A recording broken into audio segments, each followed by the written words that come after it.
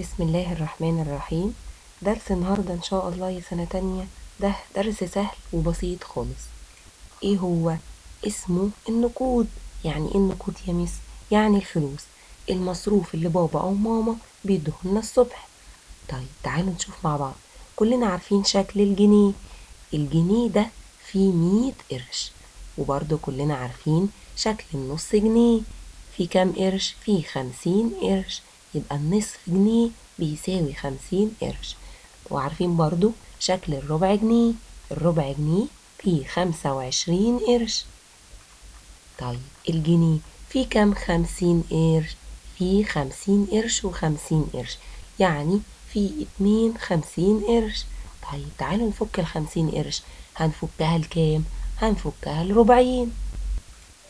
طيب الجنيه ممكن نفكه خمسين قرش وربعين. وممكن نفكه أربع تربع يبقى يتفك خمسين قرش وربعين أو يتفك أربع تربع تعالوا طيب نشوف مع بعض نجمع جنيه وجنيه هيدوني اتنين جنيه. طيب وهنا خمسين قرش وخمسين قرش يدوني كام؟ هيدوني جنيه يبقوا بقوا تلاتة جنيه. وخمسين قرش معايا يبقى تلاتة وخمسين قرش يبقى التلاتة جنيه يتقالوا تلتمية والخمسين قرش تتحط جنبها يبقوا تلتمية وخمسين قرش. تعالوا نجمع دول مع بعض. جنيه زائد جنيه زائد جنيه. هيدوني تلاتة جنيه أو تلتمية قرش. طيب ومعاهم خمسة وعشرين. يبقى التلاتة تنزل في خانة المئات والخمسة وعشرين تتحط جنبها. تعالوا نجمع هنا مع بعض. خمسة جنيه.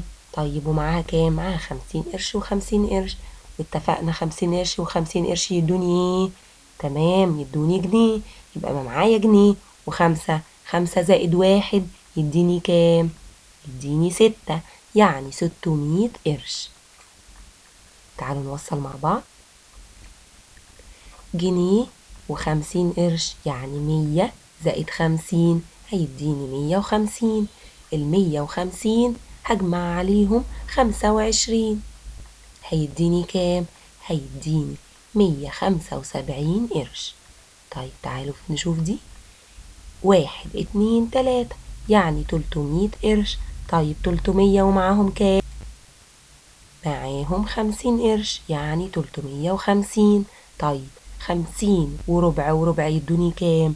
مين فاكر؟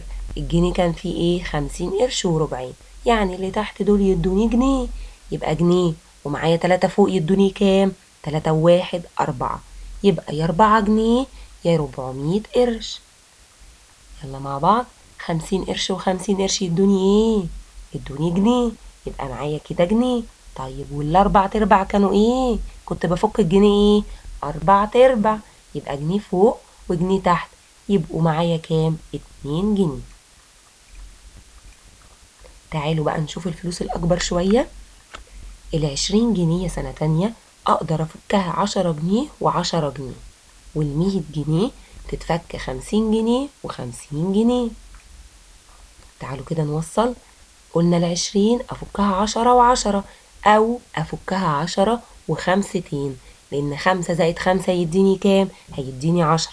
يبقى معايا عشرة فوق أهي وعشرة تحت يبقوا بيساوي العشرين والمية اتفقنا إن بفكها خمسين زائد خمسين.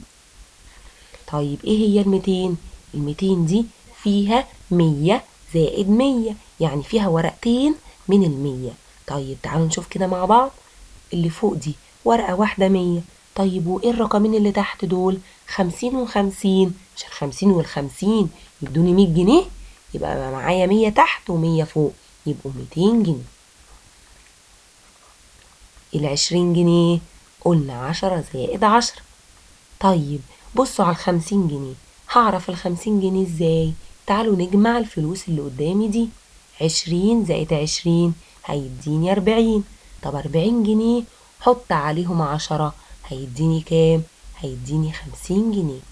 يبقى عشان أعرف أوصل العمود ألف بالعمود ب هعمل إيه سنة تانية لو متلخبط؟ هتجمع عادي. عشرة زائد عشرة يديك عشرين.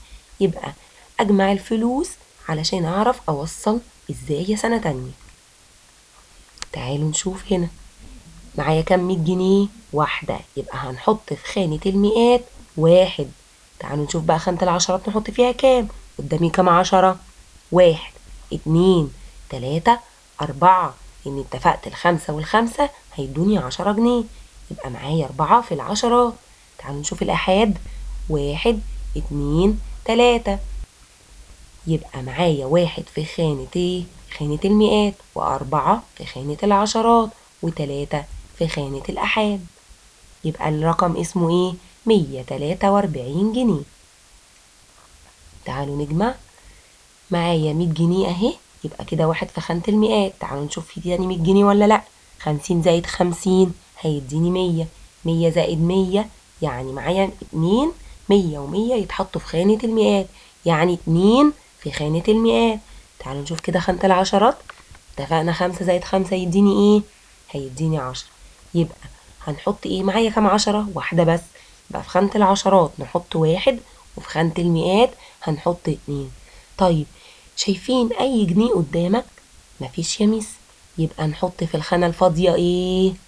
صفر. يبقى نحط في الآحاد صفر عشان مفيش أي جنيهات قدامي تعالوا نجمع مع بعض. واحد اتنين تلاتة. يبقى تلاتة في خانة المئات. تعالوا نشوف العشرات. واحد اتنين تلاتة أربعة خمسة. عشان خمسة زائد خمسة يديني عشرة. يبقى قدامي خمس عشرات وتلاتة في المئات. طيب في جنيهات؟ برضو لا يا ميس يبقى الأحد هيتساب إيه؟ فاضي؟ لأ. الخانة اللي ملاقيهاش رقم أحط مكانها صفر. شايفين الدرس سهل وبسيط إزاي سنة تانية؟ سهل وجميل خالص. وبكده النهاردة نكون خلصنا. آخر درس معانا هو النقود.